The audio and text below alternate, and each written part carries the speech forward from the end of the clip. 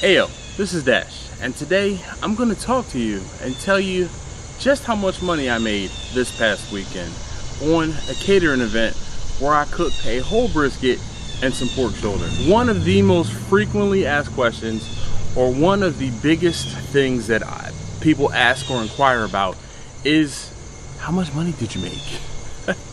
and while that is a very, you know, it's a loaded question, a loaded topic, talking about money, specifically dollars and cents, and what I can make and what I do make on my little side hustle catering business that I run out of my house. Hey yo, this is Dash.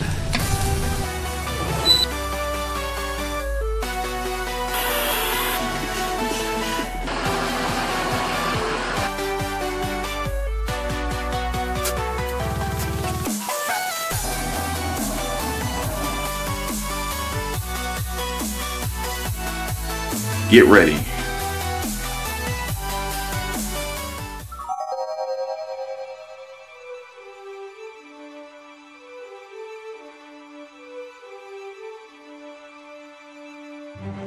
So, let's talk about this. This past weekend, I had a friend of mine, a car friend. He called me up and he says, Hey man, well, he, he texts me. He says, When you get a chance, give me a call. So I called him up and I'm like, Hey man, what's going on? He says, Hey, I know this is last minute, but I was wondering if you might be able to cater a party for me. I'm like, all right, well, when do you need it? Because I've had people call me that morning for something they need that evening.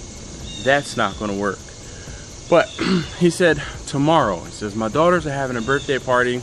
Really would like uh, it if I could get some food from you. I really want to get some food from you.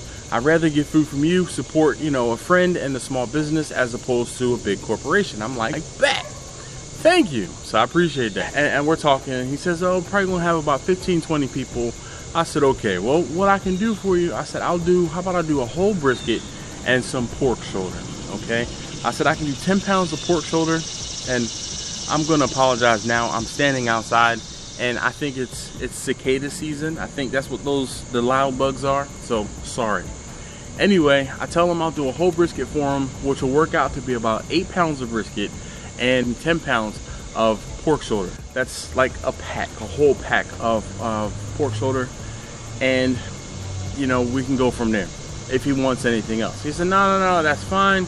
You know, we can do that. He's like, how much is it? I said, it's 125 for the whole brisket. Now, that's what I charge for a brisket.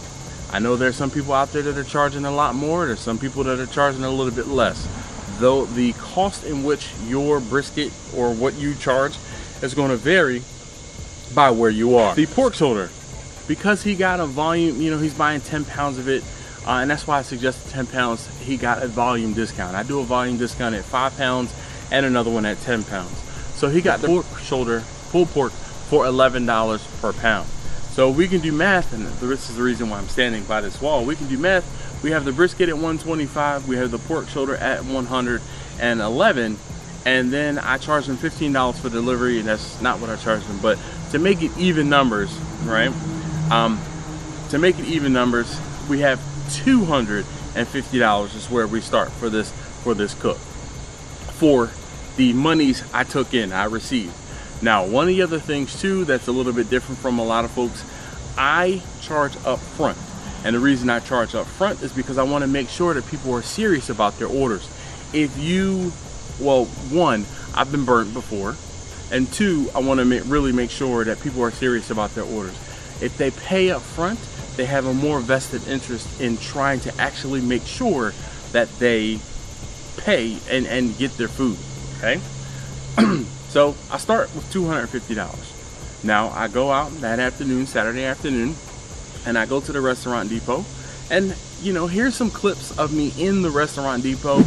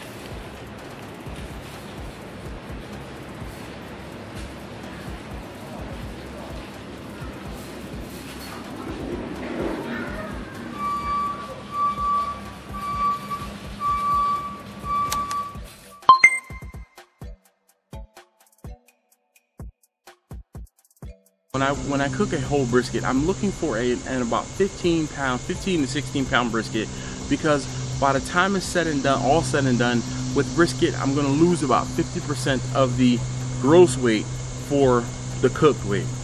With that being said, a whole brisket, again, I'm charging $125. It works out to be a little bit less than $16 per pound. Now, the pork shoulder, same thing. I have about a 50% loss. It's probably like 50, excuse me, it's probably about 45% loss. But it's a, I just round numbers, it's about 50%. So I knew that I wanted to give him a 10, 10 pounds of pulled pork. I bought a 19 and some change pound pork shoulder or, or pack of pork shoulder and it ended up costing me, well, here's the receipt.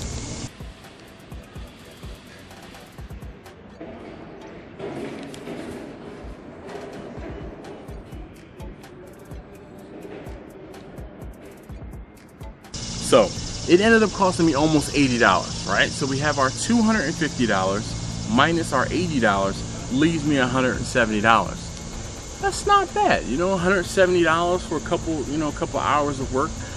But we're not done yet. We're not done yet because we have to subtract the other things that make this cook happen.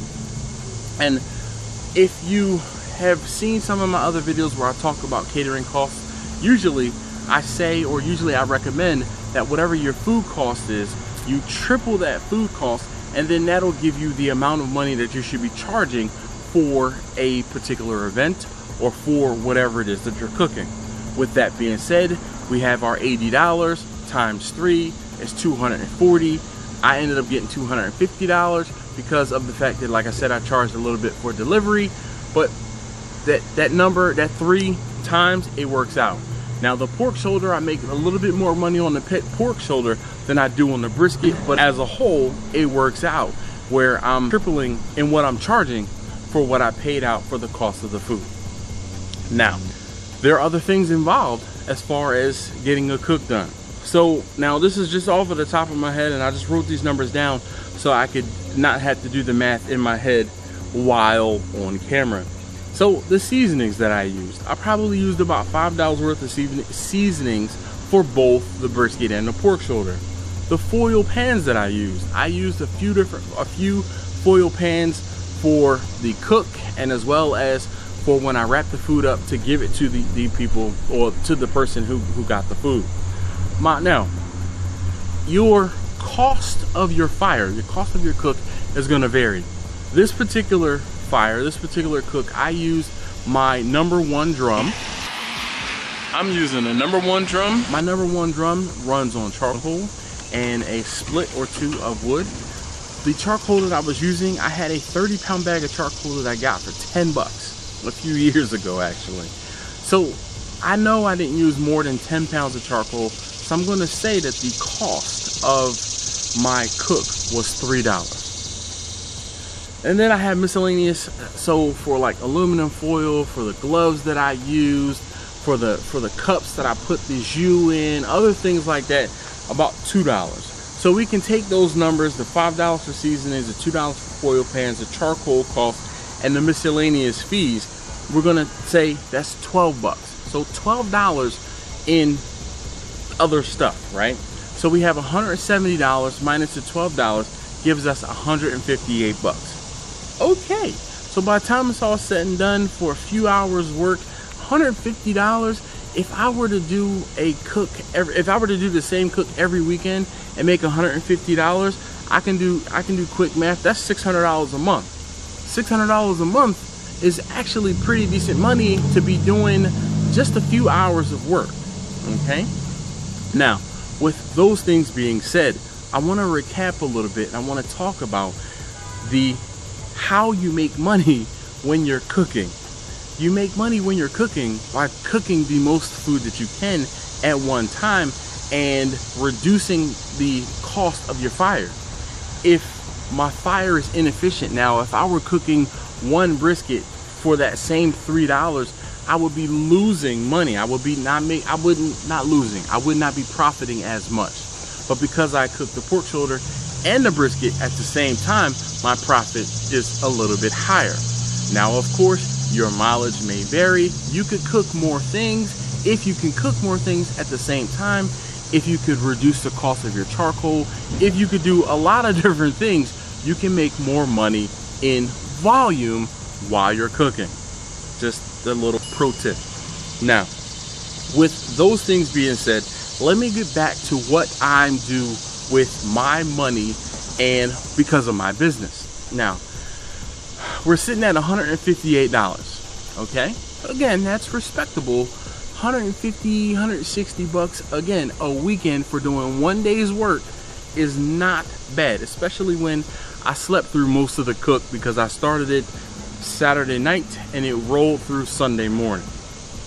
Now, again, I'm telling you what I did with mine. All right.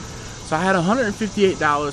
From that $158, it just so happened that my P.O. box is come due for renewal. The P.O. box that I had, it cost me $84 for every six months. Now, the reason why my P.O. box cost me so much is because when I went to my local post office, they didn't have any of the smaller, cheaper, less expensive P.O. boxes.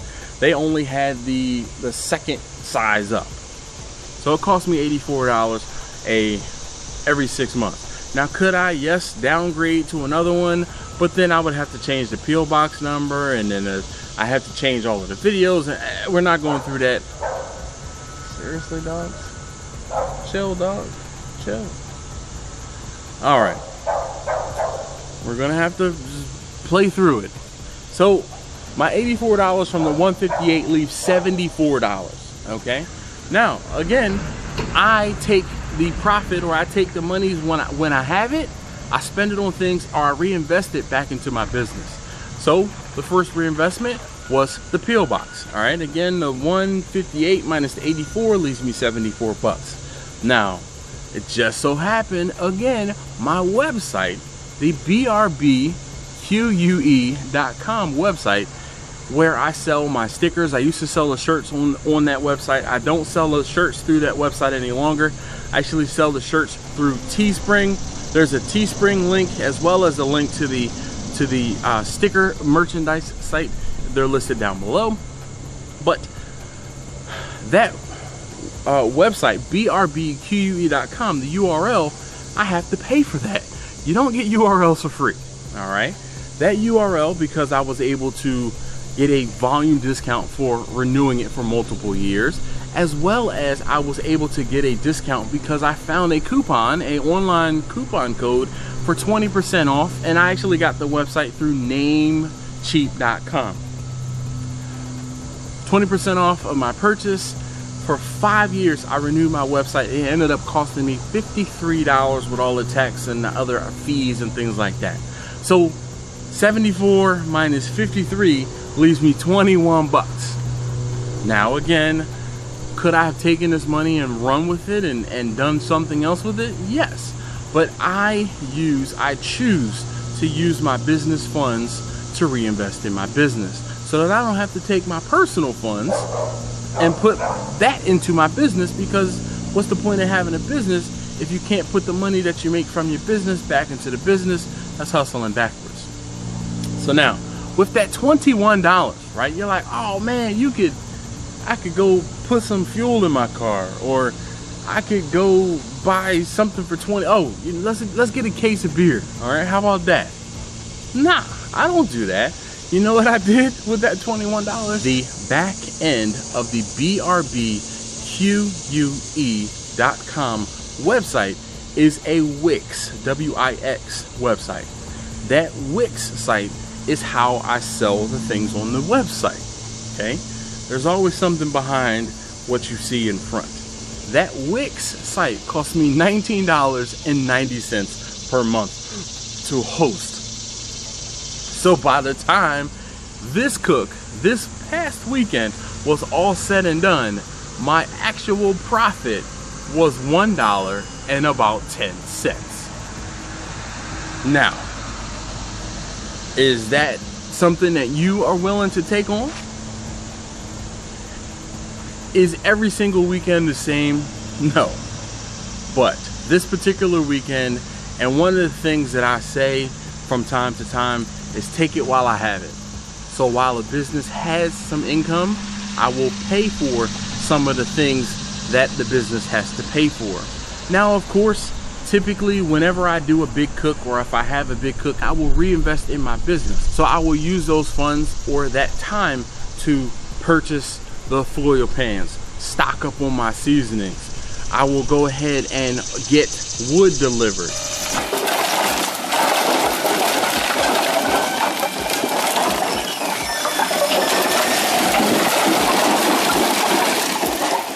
I will buy a few hundred pounds of charcoal.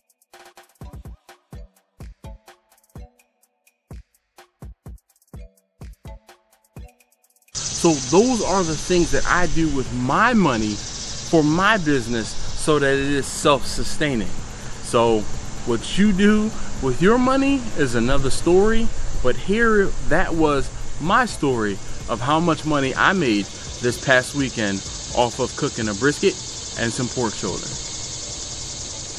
Oh, water, baby. Hey, look, guys, down below is listed the P.O. Box. If you want to send us something to try, a sauce, a seasoning, some jerky, feel free. Something funny, something for us to try, send it to the P.O. Box below. It's always listed in the description. But Thank you for watching. If you haven't already, please do subscribe. Join us on Wednesday night at 9 p.m. Eastern. Go live for two hours. In the first hour, we talk about barbecue or something barbecue business related. The second hour, come as you please and bring your flesh. and we talk about anything. And then we talk about anything. All right. Well, not her, but me. So Sometimes I peek, yes, you do. So you want to tell them thank thank them again for watching, Thank you again for watching. and we'll see you. Oh, I'm sorry. And please do subscribe and we'll see you next time. All right. Thank you guys. Bye.